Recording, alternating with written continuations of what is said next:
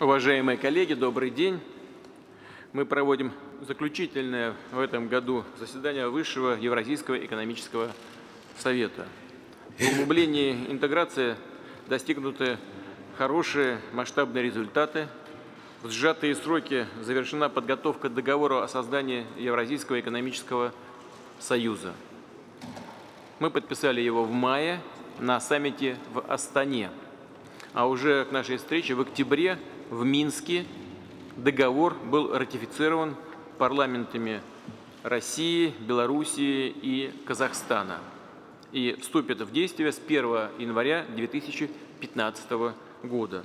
Таким образом, Евразийский экономический союз заработает в полную силу. Как мы уже неоднократно говорили, будет создан общий емкий рынок с более чем 170 миллионами потребителей. Обеспечена свобода передвижения товаров, услуг, капитала и рабочей силы.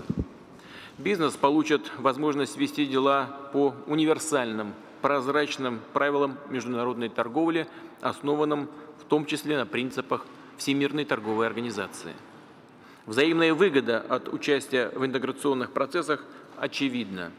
Успешная деятельность Таможенного союза, которую мы создали в 2011 году, наглядно это подтвердил. Экономические связи внутри тройки укрепились и количественно, и качественно. Товарооборот вырос на 50%, что касается качества, то улучшилась структура взаимной торговли за счет повышения доли товаров с высокой добавленной стоимостью. Начало функционирования Евразийского союза означает переход на более продвинутый этап интеграции. Убежден, это придаст дополнительный импульс развитию экономик наших государств. Союз станет мощным центром роста всего региона. Увеличатся торговые и инвестиционные потоки, будут укрепляться деловые связи и повысится благосостояние наших граждан. Реализуемый нами интеграционный проект уникален не только по масштабу и содержанию, но и по духу. Он основан на принципах равноправия, доверия, взаимного уважения и учета интересов друг друга. При этом его участники не отказываются от государственного суверенитета и сохраняют свою национальную самобытность. Мы стремимся находить взаимоприемлемые развязки и компромиссы по самым различным вопросам.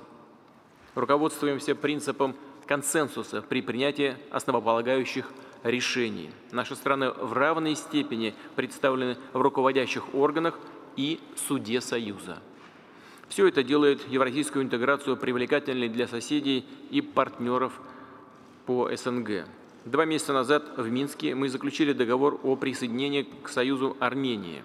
Процедуры его ратификации завершены, так что со 2 января будущего года Армения станет полноценным членом нашего объединения. Сегодня подпишем договор о вступлении в Евразийский союз Киргизии. Киргизские друзья совместно с правительствами Тройкой, Евразийской комиссии – прилагают серьезные усилия для адаптации национального законодательства к требованиям Таможенного союза и единого экономического пространства. Реализована большая часть соответствующих дорожных карт.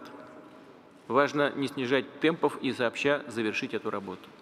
Интерес к наращиванию сотрудничества с Евразийским союзом проявляют и страны из других регионов. В финальную стадию вступила подготовка проекта соглашения о свободной торговле с Вьетнамом. Аналогичные договоренности прорабатываются с Турцией, Индией, Израилем.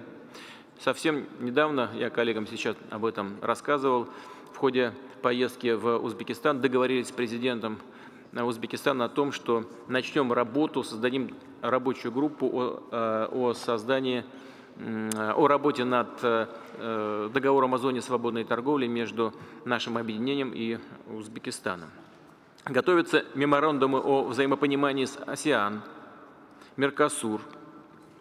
Уверен, интересам нашего объединения одинаково отвечает расширение связи со всеми странами и организациями, как на Востоке, так и на Западе, на основе равноправия и взаимной выгоды. Суммируя, хочу подчеркнуть, что наше интеграционное взаимодействие успешно развивается. Налицо его конкретные осязаемые результаты – Однако останавливаться, конечно, на достигнутом нельзя. Впереди новые большие задачи. Предстоит на практике наладить стабильное и эффективное функционирование Евразийского союза. продолжить работу по укреплению его институтов. Ряд важных решений в этом направлении мы примем уже сегодня, в их числе договоренность о порядке председательства в нашем объединении. Среди других приоритетов вижу необходимость повышения конкурентоспособности и инвестиционной привлекательности Евразийского Союза. Запуск перспективных совместных проектов и создание высокотехнологичных рабочих мест в нефтегазовом комплексе, металлургии, химической промышленности, авиа- и машиностроении, космической отрасли. Нужно снимать остающиеся барьеры, ограничивающие свободу передвижения товаров, услуг, капиталов и рабочей силы. Предстоит реализовать планы по формированию с 2016 года общего рынка фармацевтической и медицинской продукции – Шагом к этому станет сегодняшнее наше решение об обороте лекарственных средств и медицинских изделий. Мы также утвердим перечень секторов услуг, в которых единый рынок начнет функционировать уже с 1 января 2015 года. От этого выиграют строители, предприятия оптовой и розничной торговли, туристического бизнеса. Важно также не затягивать с э, взаимным признанием лицензии на ведение этих видов деятельности в наших странах чтобы наши компании уже с первых дней работы Союза могли в полной мере воспользоваться преимуществами интеграции. Рассчитываю, что наше заседание по традиции пройдет в деловой и конструктивной атмосфере. Благодарю вас за внимание.